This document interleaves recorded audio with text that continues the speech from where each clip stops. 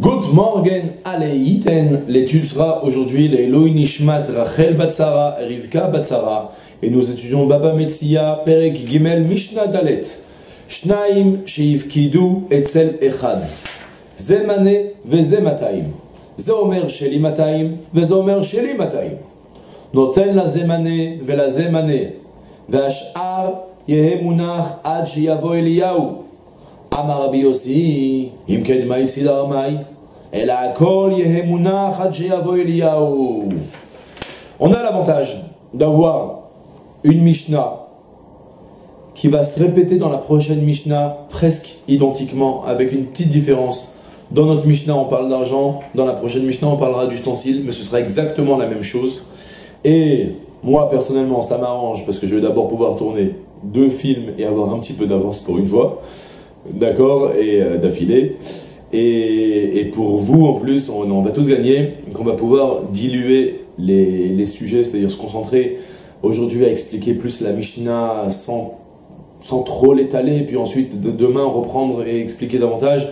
Comme ça, ça nous permettra à la fois de mieux assimiler sans, sans avoir trop de données d'un coup. On commence tout de suite la Mishnah. On traduit directement. Shnaim Kidu Etzel Echad. On parle de deux personnes, Reuven et Shimon, qui sont venus et qui ont mis en dépôt chez moi de l'argent. Shnaim Kidu Etzel Echad. Deux qui ont mis en dépôt chez un, moi-même. Zemane Vezemataim. L'un vient avec une bourse où il y a dedans mané, mané ça fait 100 zouz, et l'autre vient avec mataim zouz, 200 zouz. Donc un dépose 100 shekels, l'autre se dépose 200 shekels. Et puis ensuite, en tourloupe, au moment de rendre l'argent, ils viennent tous les, deux, trois semaines après, on dit Allez, tu rends ma bourse, tu me rends mes 200 shekels L'autre dit 200, 200, c'est moi 200.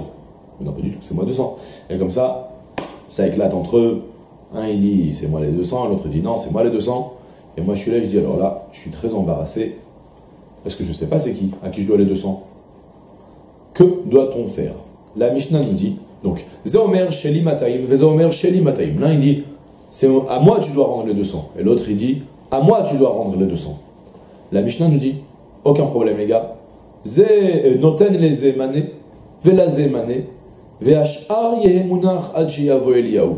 Il, il, ouvrit, il donnera la bourse de 100 à l'un. De la bourse de 200, il ouvre, il sort 100 et il donne à l'autre. Et les 100 supplémentaires sur lesquels, sur il y a le conflit, la confrontation, eh ben, Ad Eliyahu. Il le gardera en dépôt jusqu'à ce que vienne Eliyahu Anavi, Bekarov, Bezrat Hashem, qui nous annonce la venue du Mashiach, et en même temps, il va nous trancher plein de doutes de halacha, et l'un d'entre eux sera nous dire qui était en réalité le vrai, euh, le vrai mafkid, la vraie personne qui a posé mis en dépôt, et qui était le, euh, le le malin, le voleur. D'accord? Ça, c'est la Mishnah. Et on continue aussi, on n'a qu'à faire directement Rabbi aussi, comme ça on synthétisera les deux en même temps. Rabbi aussi, lui, n'est pas d'accord avec cette solution. Parce que quand tu donnes 100 à l'un, 100 à l'autre, Rabbi aussi a un problème. C'est que le voleur, ça valait le coup de jouer la carte. Il est venu, il a tenté sa chance. Ça marche, ça marche, ça marche pas, tant pis. Maximum, il n'a pas perdu. Rabbi aussi, lui, n'est pas d'accord avec ce système. Il va absolument faire une amende au voleur et que, quoi qu'il arrive, ils perdent. Pour dissuader les gens de venir réclamer ce qui ne leur revient pas de droit, il faut y aller de main forte. Et qu'est-ce qu'il propose de faire, Rabbi Yossi? Amar Rabbi Yossi. Rabbi Yossi dit Imken maïf sidaramai. Si on doit faire la lacha comme vous, Chachamim, donner à chacun un mané, chacun 100, qu'est-ce qu'il a perdu le ramaï Qu'est-ce qu'il a perdu le malin, le rusé? Et là, on prend ces 300, les 100 et les 200 en même temps, et on les garde en dépôt jusqu'à ce que vienne Eliyahu Navi. Et eux, qui tirent la langue, qui souffrent, qui peinent. Peut-être qu'il y en a un des deux qui va secouer. On a gagné, qu'on a dissuadé déjà le, les voleurs ou les malins à venir proposer parce qu'ils risquent gros. Et puis même, au pire, peut-être qu'avec un peu de chance, il va reconnaître. D'accord? Donc en fait, on récapitule. On a ici deux avis. L'avis de Rachamim qui nous dit, va selon la, selon la logique pure, stricte, tu donnes 100 parce que quoi qu'il arrive, tu peux déjà donner 100 à chacun. Et le 100 supplémentaire, Yehemunach. Entre parenthèses, c'est quoi Yehemunach Il faudra le garder en dépôt. Petite discussion, est-ce qu'il faut le garder en dépôt Chez moi ou bien chez le Bet Din?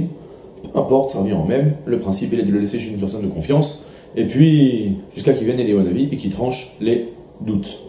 Ça, c'était pour l'avis de Tanakama. Et Rabbi aussi nous dit non, non, non, il faut absolument euh, mettre un coup dur pour le malin, pour le dissuader et pour le faire reconnaître ensuite après coup. Donc tu prends tout l'argent sur lequel il y a le doute, tu le prends entièrement et tu le gardes en dépôt jusqu'à que vienne Eliaou Anavi.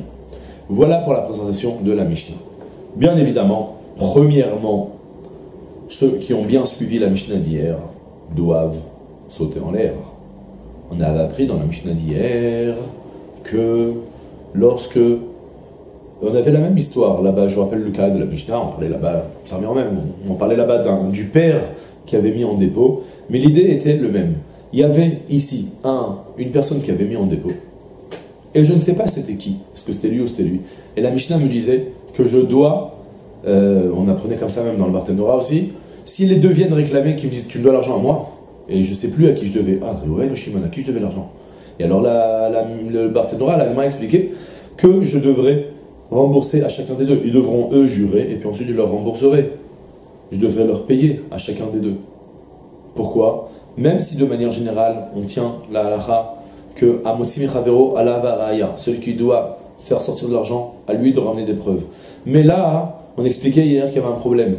Le gardien, celui chez qui on, peut, on met l'argent en dépôt, lui, son devoir est aussi de se souvenir à qui il doit l'argent.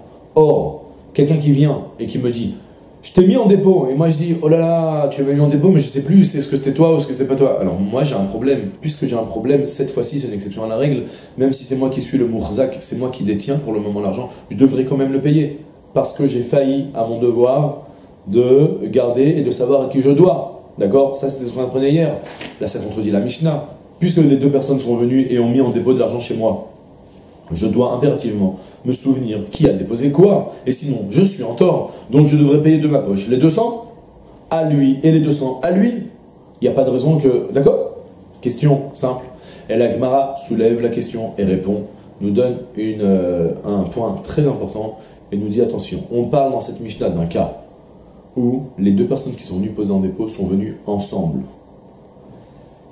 Je le dis de manière grossière, après j'apporterai une précision quand même sur ça, mais puisqu'ils viennent ensemble, alors l'un vient et donne sa bourse, l'autre donne sa bourse, je remarque que tous les deux ils sont copains, ils sont complices. On considère que je ne dois pas, je dois finalement 300 aux deux et ils doivent se débrouiller. C'est-à-dire, puisqu'ils viennent ensemble, on considère, on considère tout ça comme un seul dépôt.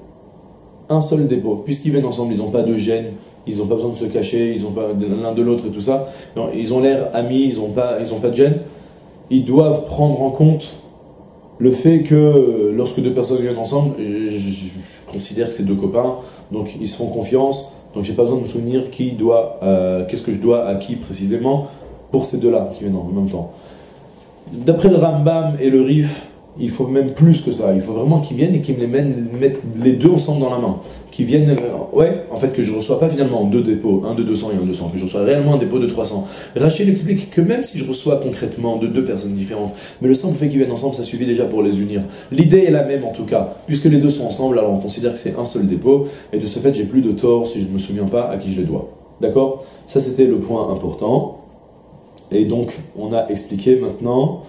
Euh, on a bien expliqué Tanakama. Donc la différence avec la première Mishnah, on parle du cas donc, où ils viennent les deux ensemble, on a expliqué que ça, veut dire Yehemunar, qu'il faudra le garder en dépôt jusqu'à qu'il vienne aller au Hanavi, soit chez moi, soit au Bet Din.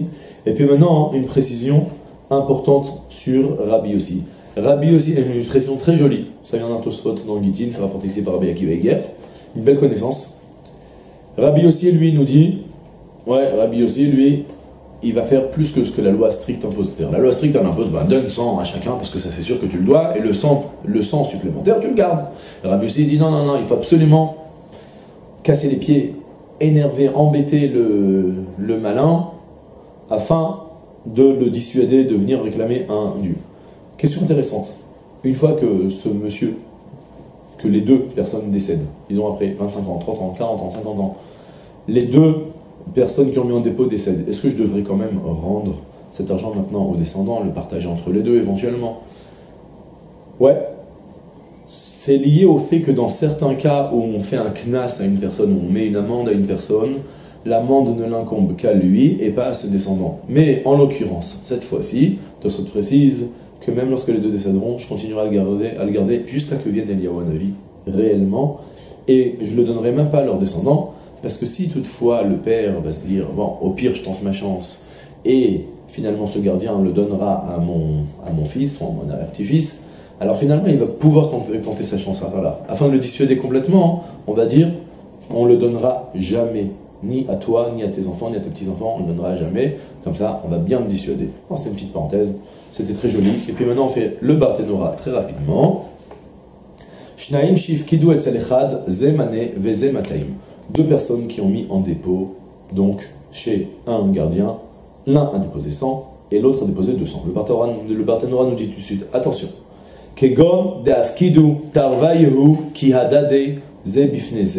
On parle du cas où les deux ont déposé en dépôt en même temps, l'un devant l'autre.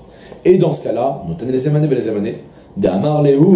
parce que dans ce cas-là, le gardien pourra leur dire Atun lo Vous, vous n'avez pas été euh, méticuleux, méticuleux, vous n'avez pas, vous vous êtes pas protégé l'un de l'autre.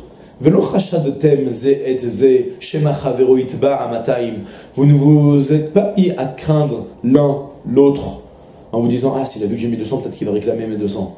Donc, Ananami, le Ramae Anafsha et les Meidak Hamataim Shemien.